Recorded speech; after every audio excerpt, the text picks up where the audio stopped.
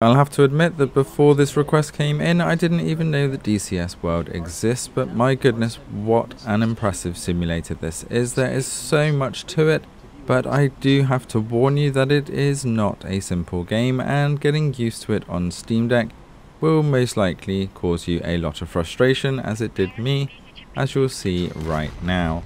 But as you can see up in the top left, we are able to get 40 to 50 frames per second and the visuals are absolutely stunning. On Steam Deck, this looks absolutely phenomenal, but the controls are something that it's going to take a lot of getting used to. As you can see here on the Steam store, it is marked as playable, but with a lot of warnings, as it's not a simple game for controller.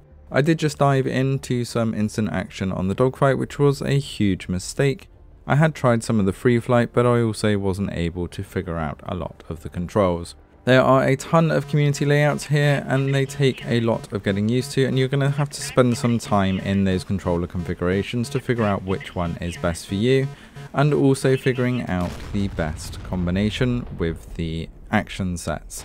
There are so many keys to this game, it really is going to take you a while to figure out the key combinations to get the best out of it for you.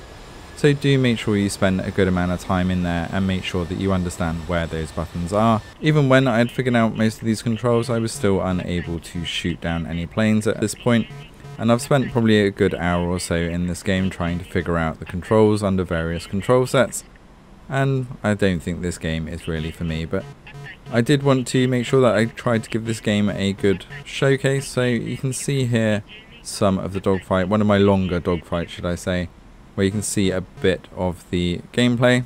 Let us know in the comments below if there is a game that you are on the lookout for and hopefully I'll be better at that one. Thanks for watching and enjoy the rest of the video.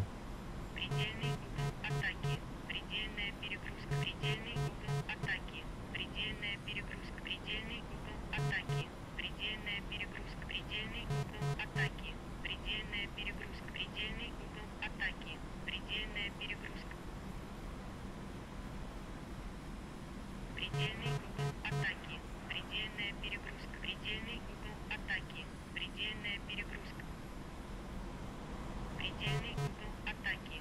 Предельная перегрузка. Предельный угол атаки. Предельная перегрузка.